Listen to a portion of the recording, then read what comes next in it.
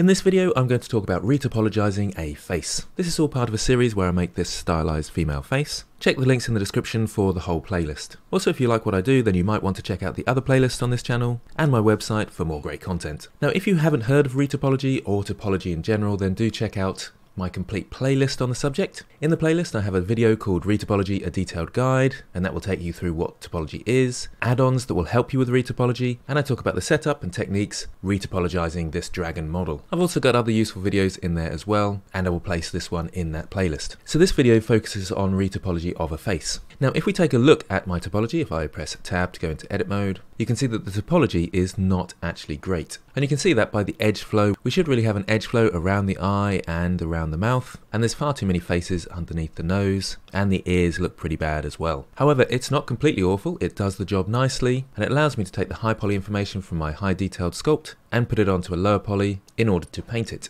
which is all I wanted from this model. The add-on I was using for that was the Quad Remesher, which is a paid for add-on. You can get a free program called Instant Mesh, but it really isn't as good as Quad Remesher. So it's done a half decent job. Manual retopology at the moment does a better job. So let's go into that now. The first thing you'll probably want to do is get a reference image like this. This is great because it's from Sketchfab and it's from 0.5y. This gives you a really great look at the edge flow around the shape and is a good example of topology that will be suitable for animation and generally suits the contours of the face. I'll place the link to this in the description, but it's very handy to have a detailed model like this as reference. So with that Sketchfab model as a guide on another screen, I'll come back into Blender with my high poly mesh just here, so face high poly, and I'll want to create my new mesh to go on top of it. Now I'm going to go fairly quick through this, as this is more just a reminder of what I've already gone through in a previous video in the playlist. I'll shift right click to move my 3D cursor on top of the face just there, shift A to add, mesh and then plane. Let's scale that down and move it into position in front of the head. Move it fairly close but on top of the head, not touching or overlapping. I'm also off to one side like this because I'm going to mirror it to the other side. I'll rename it as well, Face Low Poly 2, and let's add my mirror modifier. So across the spanner, add modifier, mirror.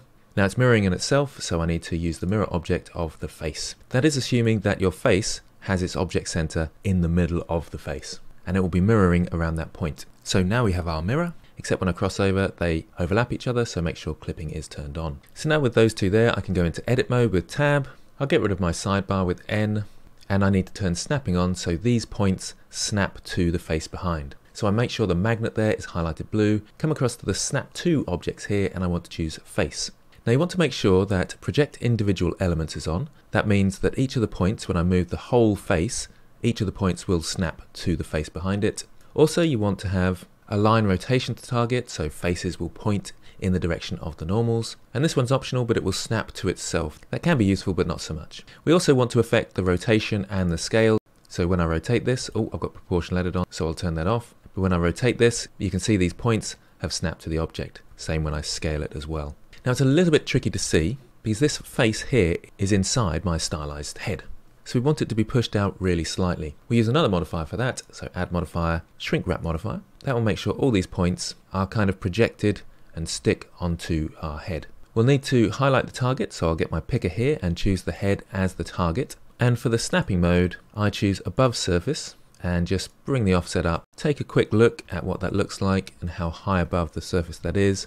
But 0.01 in my case is absolutely fine, that's a good distance. What I find helpful as well is to turn this button on here, which is on cage, so I see the results of the modifier, not the original. So I'd be looking at the original there, and the results are here. So now I can go in, select my points and E to extrude, maybe go to edges and E to extrude out this way, making sure that I've got a good eye on my reference image. To speed things up, you can press Control and right click, and that quickly creates a face automatically. You can select multiple edges, so I'll select that one and Control click this one, and G to grab, and move those down a bit into position.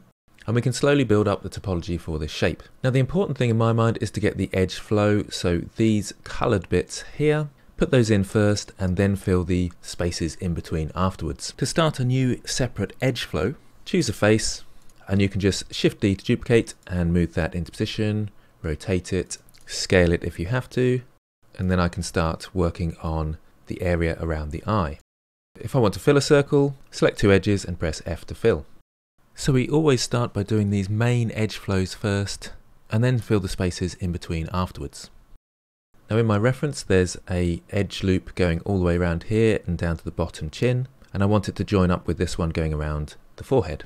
So if I rotate this one and extrude it out, I can then take this one and restart my edge flow along here. That's one of the hardest things to understand about this process, about when two edge flows meet like this and they kind of collide.